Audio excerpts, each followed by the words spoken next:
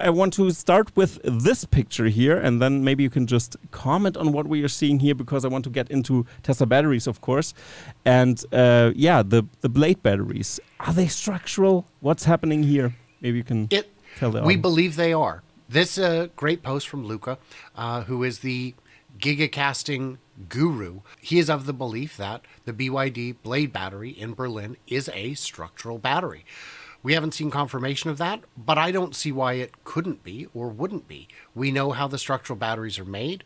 All it requires really is a slightly different housing and uh, some polystyrene foam inside to make it structural. And all the pieces are there.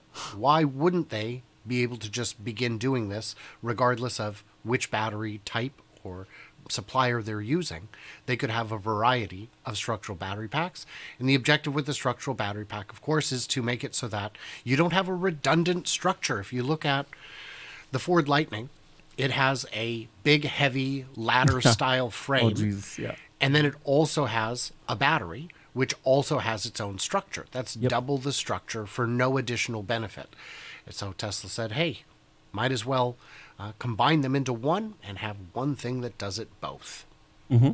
Makes sense. Also, airplanes, for example, have, of course, fuel in their wings. And um, this is also a thing that, that that's how you store it. And that's also one of the reasons they get uh, got into that direction as well with, with examples like that, like how, how these kinds of technologies work. So Brian, I wanted to ask you because the 4680 battery ramp seems to be problematic. At least uh, we've talked about that briefly in the last episode about Lee and he from Tesla Economist, and he tracks uh, tracks everything and super furious about this. Uh, I mean, he had some points like it, it's slowed. It, it's not as easy as it was, but this is a new battery concept they are doing. It's difficult, right? And uh, yeah, what's your opinion on that? So I had a chance to talk. I, I got to attend a presentation uh, held mm-hmm. at a Tesla location for the Tesla Owners Club of Oregon, where Jen Gowdy talked. Jen Gowdy is a service center um, coordinator there, and a former Kato Road battery uh, engineer. I was. She knew perfectly well who I was, and to yeah, be yeah. very guarded with answers. And what I asked is, we've seen since two, three years ago, announcements from virtually every manufacturer that they are going to begin working on the 4680 form factor. Yep. If you type in the name Panasonic or Samsung or mm-hmm. any of them, plus 4680, you'll see some announcement going back years yep. with very few exceptions. And I said, but we know as of like a month or two ago that at least Panasonic uh, at their Oklahoma location had stepped back a bit from the 4680 and was going to instead produce more 2170 cells. I said, Is there something particularly vexing about this form factor, not specific to Tesla, but specific to these other companies, that makes it inherently challenging? And she said, Ah, I can't answer that either. That would that would divulge mm-hmm. too much. How dare you, good sir? So uh, I I don't get those answers. But what my take on it is the fact that you do have, if you were to unroll the roll from a 4680 versus any other battery, you'd find it has, it's probably, you know, like a little mini pizza size kind of length. It is quite long and quite wide, longer and wider than any of the other cells that it competes against. And if there's a problem anywhere on that surface, you can't use it. You have to throw it out. So I'm concerned that the greater surface area has led to a higher probability mm-hmm. of failure, which makes the equipment that much more difficult to configure, mm-hmm. dial in, and get perfected. So the yields results, are not as yeah yeah yeah. Could so either the yeah. yields are are low or that just getting it so that the yields aren't low. No, the yields mm-hmm. are very good, but it took us forever to get it mm-hmm. sorted out. I think that's the potential problem there because that would make sense across all manufacturers.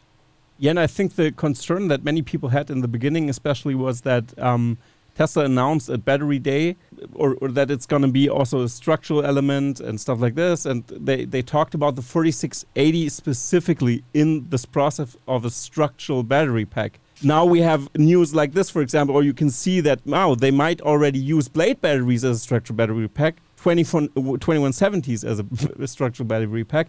Wait a second, they can use every battery for a structural battery pack. So this is already off the table. They can do that. And yeah, what's your opinion on that? I, I'm super curious.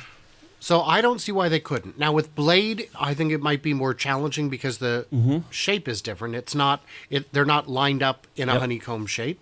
But 2170s, why couldn't you? And if that's the case, maybe we'll see a 2170 version of the Cybertruck as well. Mm-hmm. Maybe that becomes the single motor version. I don't see why they couldn't do that. I think that would be a perfectly reasonable solution. 2170s are smaller than 4680s, so it's not like they would run out of room to put them. So I don't know. I think that's a, a very strong possibility. And if somebody in the comments wants to tell us why Yeah. couldn't you use different batteries in a structural battery? The 2170s, I don't think you could convince me would not be good enough uh, because they're so similar to the 4680. But other ones like blades or prism, prismatic or something else, uh, big old pouches. I don't think you're going to make a structural pouch, but uh, you know, let me know in the comments. I'd be curious. Yeah, absolutely. And Elon Musk, if you're in the comments again, uh, lurking around, please write. Just answer the goddamn question with all of your fake accounts. Come on, man. You're not fooling anyone. I know who you are. no, but yeah, but but uh, I think it's an interesting topic because sometimes also like we had with the stainless steel before with the problematic there, and yeah, people kind of tend to forget that Tesla is one of the or, or the best engineers worldwide. The lists uh, they're still top ranking in the lists of engineers that want to join there. They have tons, millions of applications in I don't know a week, Uh, so they're super attracting so much talent. It's ridiculous not to see that they can solve something like this. It takes longer. Maybe FSD, for example, is also a great example, prime example.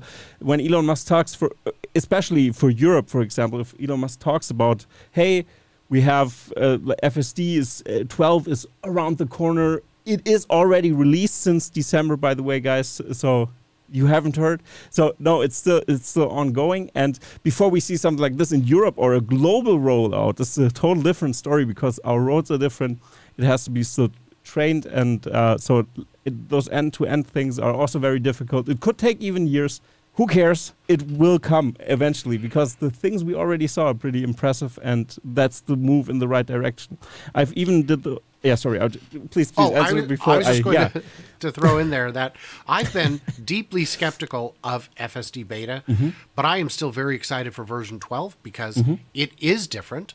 And some of the strengths of version 11 that we've seen in videos is that it was really configured with the streets where it was tested in mind, with that Yep. city in mind, where version 12 is expected to be awfully good kind of everywhere. And if my town goes from the experience I had on version 11 to a version 12 experience similar to what channels like Whole Mars blog see, then I'm going to be very impressed and very excited. Absolutely. So I think the approach that uh, it can take time, but uh, I think they're gonna solve it. Also, the uh, 2170 battery packs. So, so how how bullish are you that they're gonna uh, adjust it and uh, can get more yields? How disappointed were they actually? That's that's also a question that I have. I, is it disappointing or not? So, what's your take? My take is it's definitely disappointing. I think they were expecting to have when they first announced, "Oh, we produced our millionth or 10 millionth cell from Kato Road." My take was I was gutted. I thought I thought for sure that they were far ahead of that by then. And then when they had their 20 millionth cell or whatever, they were it was a big exciting announcement. And you know you just crunch the numbers. You divide it by 5000 you realize that's not very many cars worth. We need we need a lot more. We know that they wanted to get to a 4680 structural battery for the model y in texas all along. They only made a handful of thousands of those, maybe 10,000, 20,000 at most, before discontinuing it and saying, no, we're going to save up these batteries and put them in the Cybertruck. Uh, so the plan was that those that Texas would be entirely self-sufficient with 4680s and that all of the 2170s made in Nevada could be used for the cars in Fremont and that would make it easier for more cars to qualify under the IRA. And the reason we're seeing some cars that don't is because the cells were not made in the US because there just isn't enough capacity yet. So So, makes- personally, very disappointed. in that case, also it makes like sense that they other suppliers like Panasonic st uh, steps in because uh, what does Tesla want? Like I've heard, batteries from everybody in the best for uh, like those form factors, of course, that they use, but still, they want to order all the batteries they can get their hands on. Yeah, please continue making more batteries. We will buy them. If you have a good battery, we will buy it. And other companies have struggled with some of these manufacturers. I know LG had a problem with their batteries that went into the Chevy Bolt, but LGs have been going into Tesla cars since 2019 no issue. And I think it's a disconnect between the engineers at LG and the and the engineers at Ford that caused the or GM that caused the problem. So we know that yeah, if if you're LG, we buy. BYD, we buy. Panasonic, of course. I'm not aware of any Samsung batteries being used in a Tesla yet, though I could be mistaken, but they will buy from anybody who has good batteries. And there is no shortage of suppliers, it seems, willing to allow that. And when you've got big companies saying, we're going to have all these cars in 2024, 25, and then they say, actually make it 25, 26, that frees up a lot of resources for these companies to say, why were we working with these jokers in the first place? Call Tesla, see if they need some batteries, because we've got all this equipment and it's going to be idle because we reserved this capacity for a car that isn't coming out yet, if it ever does at all.